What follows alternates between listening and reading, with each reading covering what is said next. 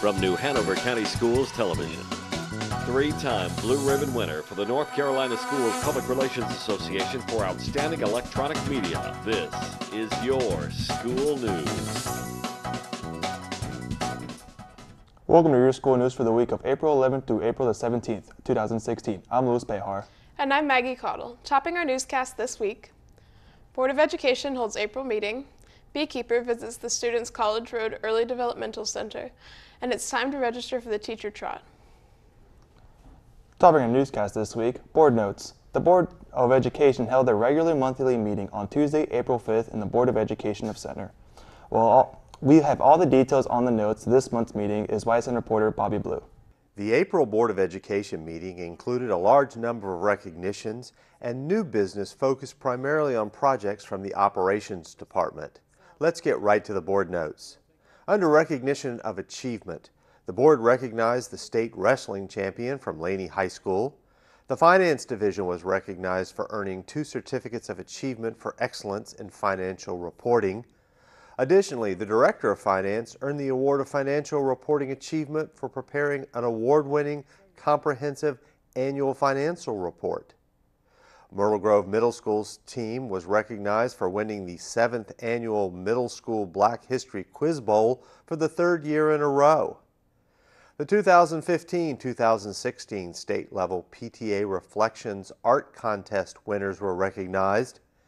And Board of Education member Edward Higgins was recognized for his appointment to the North Carolina Board Association's Legislative Committee. Under information, board member Edward B. Higgins gave a report on the Head Start program, and Superintendent Dr. Tim Markley made a presentation on the 2016-17 proposed county budget request. Under new business, the Blackboard Student Notification System contract renewal was approved.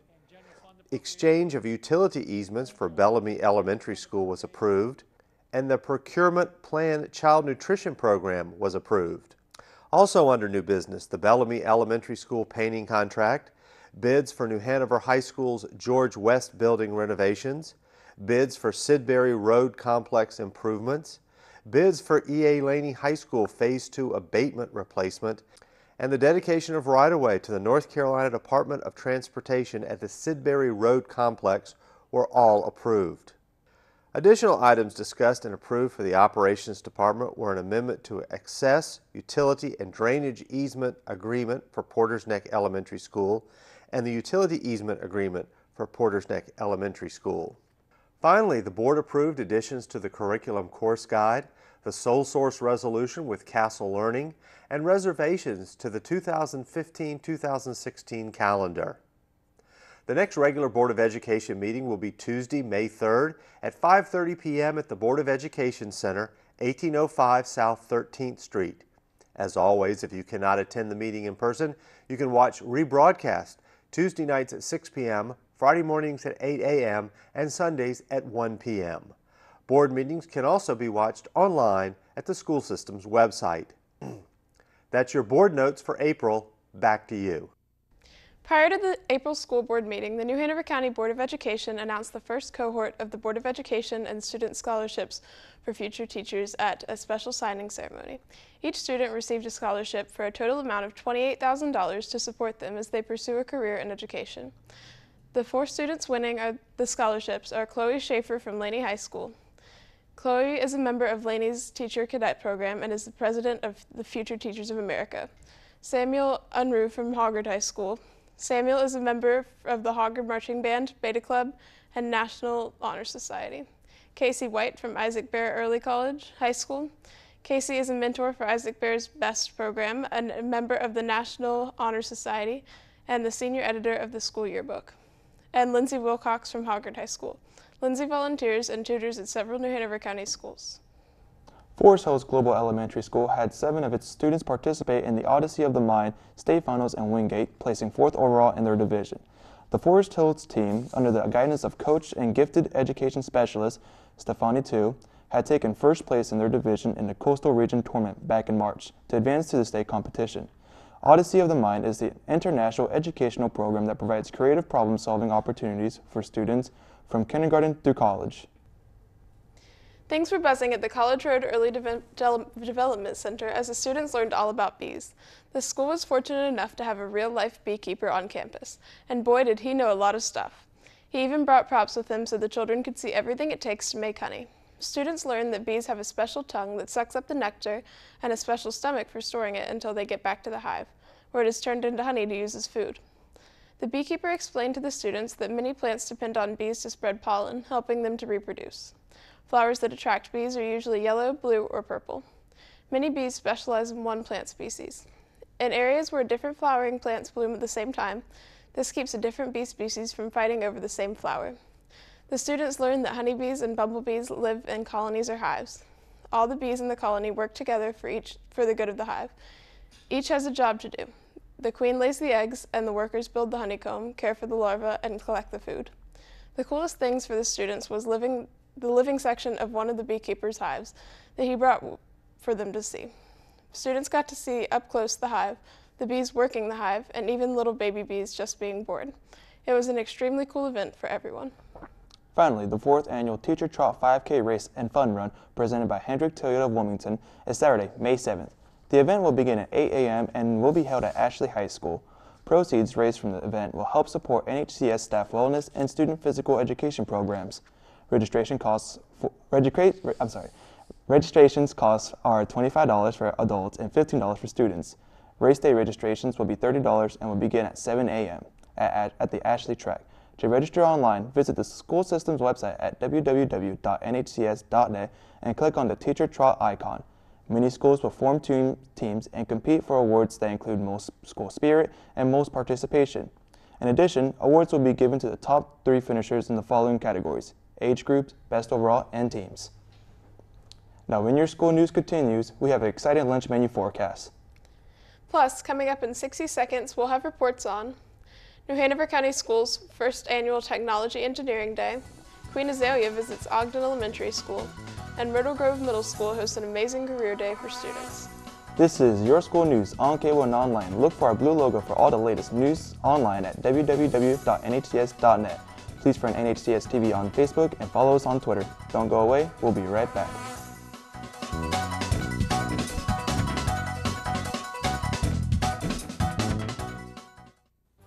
History's Timeline, a world of history in 60 seconds, brought to you by New Hanover County Schools.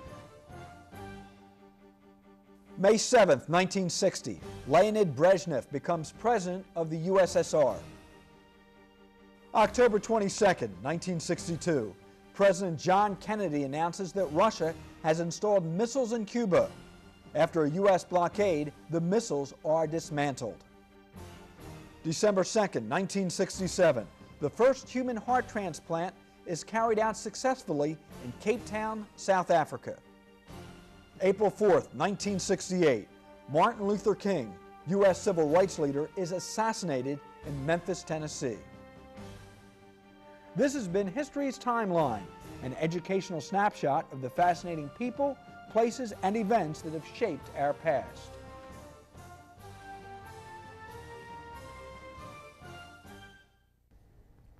Welcome back to Your School News.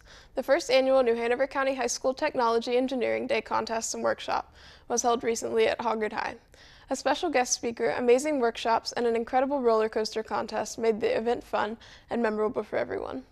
YSN reporter Stephen Thornton has all the details. It wasn't a joke on April 1st when the 2016 first annual County Technology Engineering Day contest and workshops were held at Hoggard High School. This first time event featured a host of new experiences for all the students involved. The event kicked off with a presentation from Dr. Amy Reamer. Dr. Reamer is Program Director and Academic Advisor for the NC State Engineering 2 plus 2 transfer program at UNCW. She, she shared with the students a few words about her profession, the workshop, and the overall importance of engineering in today's world. Um, I hope that they heard that engineering is a very diverse field and that engineers ultimately solve tough problems. And so I was giving them a few examples of how they might solve problems, kind of um, commiserate with what they were doing today to solve these um, roller coaster, to, to build their roller coaster. Two workshops featuring four events were a major part of the Engineering Day activities. Each workshop focused on a different form of engineering. One of those, structural engineering, put the, put the students under a little pressure. Given only two sheets of paper and five inches of tape, the students were challenged to create a way to support 30 textbooks. In another workshop on industrial engineering, student teams had to build the tallest towers using only pasta and marshmallows. Yeah, um, one was when we had to use toothpicks to like build stuff and then take them apart to build something connected to it and build other things. So it's like using two things for one or one thing for two. You know what I mean? The centerpiece for this year's event was roller coaster design.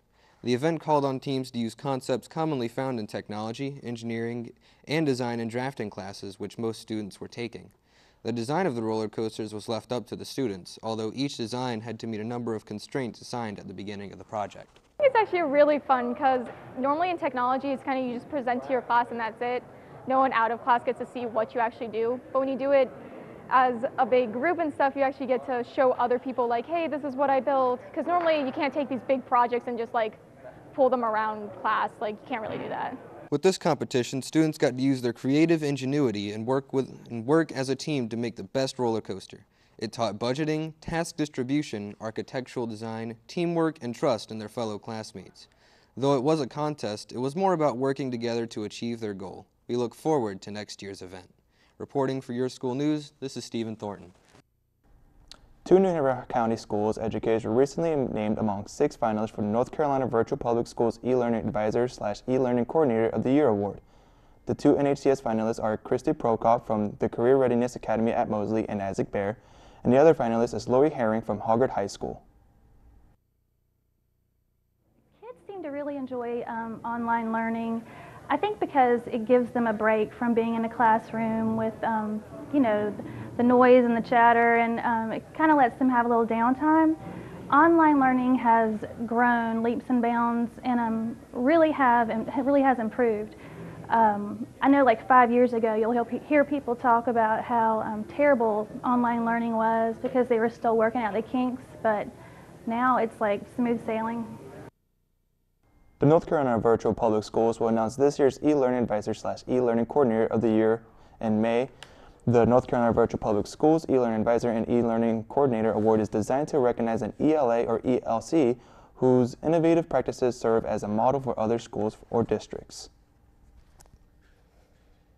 Myrtle Grove Middle School recently held a career and college fair which each grade level at the school was able to attend.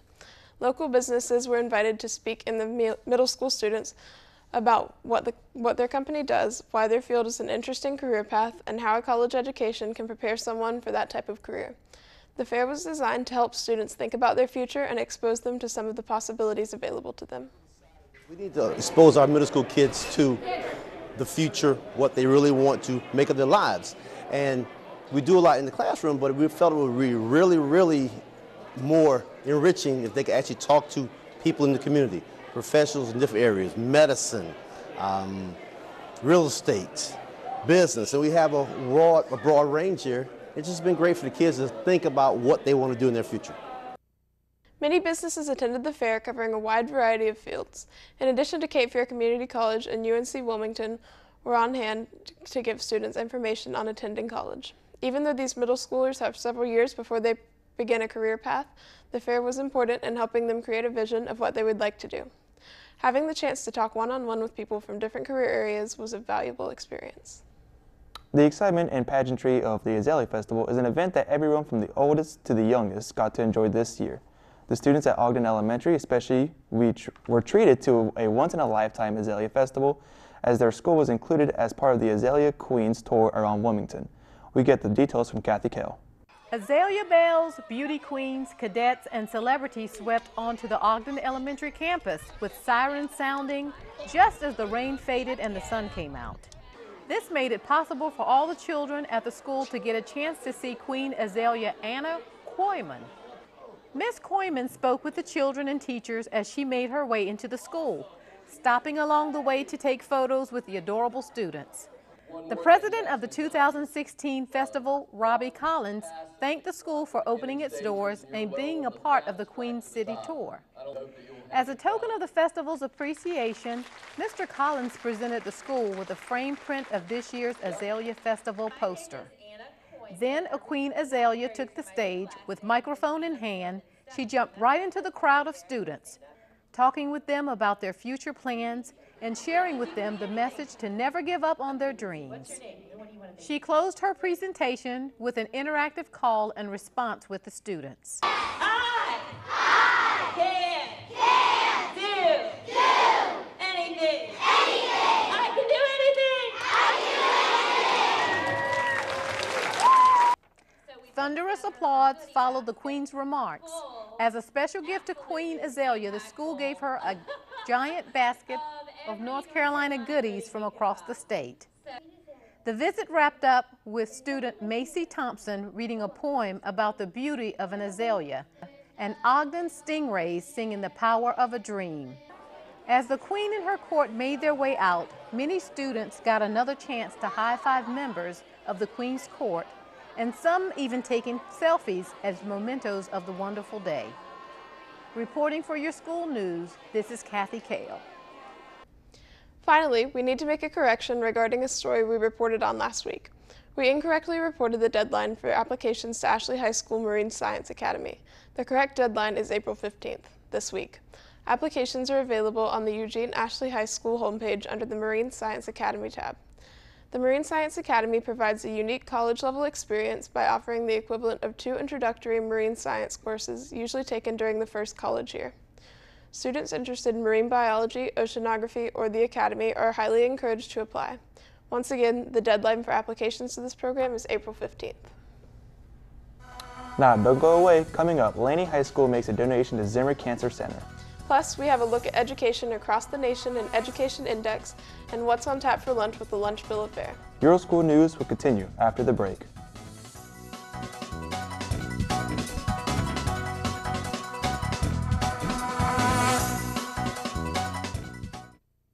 Sixty-inch screen, high definition. Football season is coming up. You can watch it right here. What do you think? I'll Huh? take it. Huh? Yeah, that's what I'm talking about.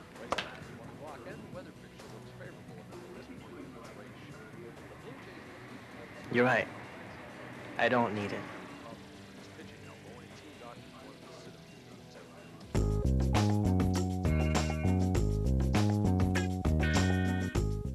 When you see and hear the following statement just before your favorite program, The following program is made possible with the support of pay attention because the messages and announcements that follow give credit to our corporate and community partners who are making a great business investment by showing their backing for the students and schools here in New Hanover County. Please show your support to our underwriters whose names and logos are associated with the shows produced by New Hanover County Schools Television by saying thank you when you enter their places of business or visit their offices. For those businesses and organizations that would like to join our roster of underwriters and benefit from the corporate sponsorship of one of our programs, then give us a call at 254-4106. And thanks again to all our sponsors and those who support them. Welcome back to Your School News. It's time for our Education Index, a look around the nation and the world at some of the top stories in education. Topping the index, amid in a recent rise in sexual misconduct cases involving teachers. The Clark County School District in Nevada is looking to implement a policy that restricts digital communications between students and teachers. An investigation by the Las Vegas Sun of teachers of teacher sex abuse cases in the Clark County District from 2005 to 2015 found that half included private electronic communication between the teacher and the victim, and around 80% of cases within the last five years. In addition of the five teachers arrested on sexual misconduct charges since the investigation, four were found to have privately communicated with students without the knowledge of their parents. When is a college course not really a college course? When it's classified as developmental or remedial.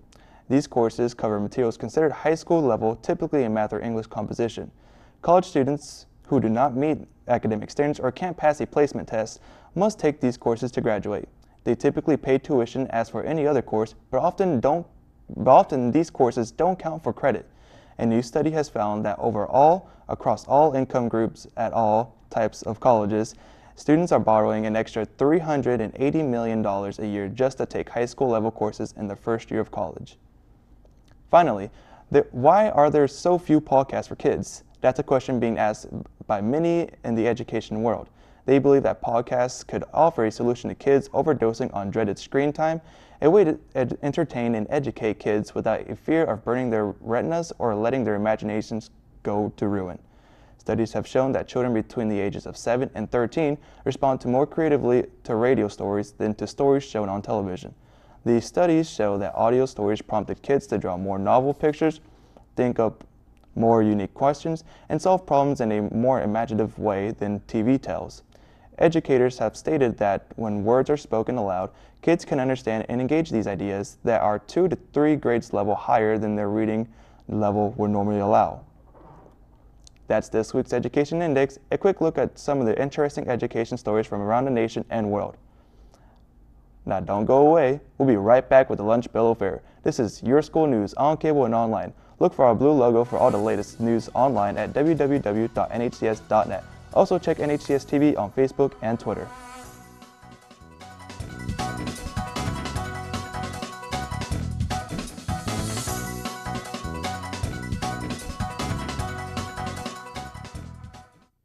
There are 16 million children struggling with hunger in America. That's one in five daughters, sons, neighbors, and classmates who don't know where their next meal is coming from. Yet billions of pounds of good food go to waste every year. It's time we do something about it. Feeding America is a nationwide network of food banks that helps provide meals to millions of kids and families in need. Visit feedingamerica.org to help them feed even more. Together, we can solve hunger. Together, we're feeding America. Listen, I know you're upset, but it was just one date. And dating's like the stock market. Uh, there's uh, ups and and downs and and and ups and so always buy low. You don't have to be perfect to be a perfect parent. There are thousands of teens in foster care who would love to put up with you. Welcome back to Your School News. It's time now for this week's Lunch Bill of Fare. Our lunch menu specialist is standing by in the newsroom with the week's school lunch menu so parents, students, teachers, and everyone working with the New Hanover County school system can plan their lunchtime options. Thanks and welcome to this week's Lunch Bill of Fare. We've got a great menu this week with lots of international cuisine. So let's take a look at this week's menu. On Tuesday, April 12th, sit down with your friends and enjoy orange chicken with rice and an egg roll, a meatball hoagie, or a bacon cheeseburger for lunch. Continue the explosion from flavor with the side items of sweet potato waffle fries, veggie sticks, and fresh fruit. On Wednesday, April 13th, warm yourself with corn dog nuggets, pork chop sandwich, and a cheesy breadstick. Along with those selections, you may add pasta salad, corn, garden salad, or diced peaches on the side. On Thursday, April 14th, get your grub on with stuffed crust pizza, chicken club sandwich, and popcorn chicken with a roll. Round the meal out with macaroni salad, tomato and cucumber salad, broccoli, or fresh fruit. On Friday, April 15th, feast like royalty on a hot dog with chili, fish sticks with hush puppies, or chicken nuggets with a roll. Also, chow down on mac and cheese, baked beans, carrot sticks, garden salad, and spiced tomatoes. On Monday, April 18th, make haste to the lunch line for chicken filet sandwich, lasagna roll up with a breadstick, or a corn dog nugget. Please leave the lunch line. Please don't leave the lunch line until you have heaped on a side of garden peas, glazed sweet potatoes, garden salad, or mixed fruit. Now, recapping this week's lunch menu. On Wednesday, we have a delicious pork chop sandwich, and on Thursday, we have the wonderful popcorn chicken. Throughout the week, your sides are veggie sticks, sliced apples, and garden salad. That's this week's Lunch Bill of Fare. Remember to eat healthy at school and at home. I'm Chrissy Margus. Back to you. Thanks. Don't forget, you can also catch the Lunch Bill of Fare during the morning show here on the Learning Network and get lots of healthful nutrition information online at www.nhcs.net slash nutrition. Now don't go away. Coming up, Laney High School makes a donation to the Zimmer Cancer Center.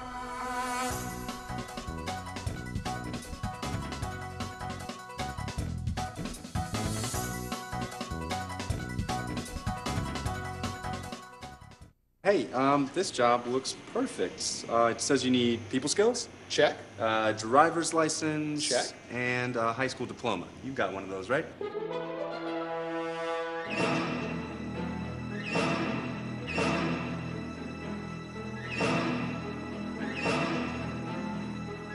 Skip the drama.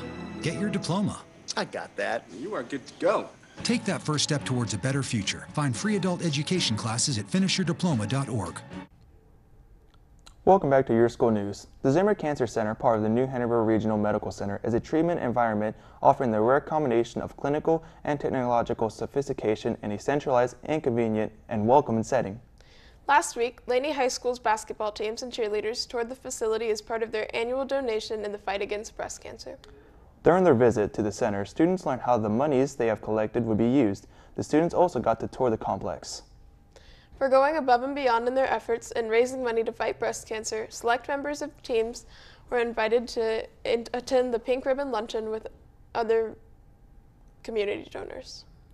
It is with the support and help of many generous people throughout our region, like the Laney Squads, that New Hanover Regional Medical Center Foundation's Pink Ribbon Project has helped thousands of local women without insurance or other financial resources by providing mammography, screenings, diagnostics, comfort items, and spiritual support. To date, the Laney squads have raised over $3,000 to the Cancer Center.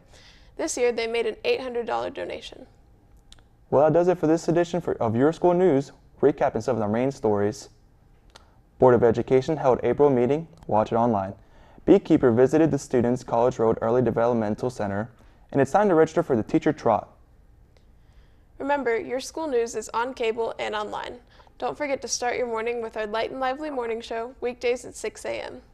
I'm Maggie Caudle. And I'm Louis Behar. On behalf of the entire YSN crew, thanks for watching New Hanover County Schools Television on the Learning Network.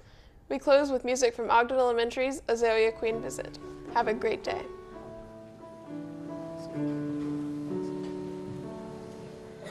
Deep within each heart, there lies a magic spark that lights the fire of our imaginations. And since the dawn of man, the strength of just I can has brought together people of all nations.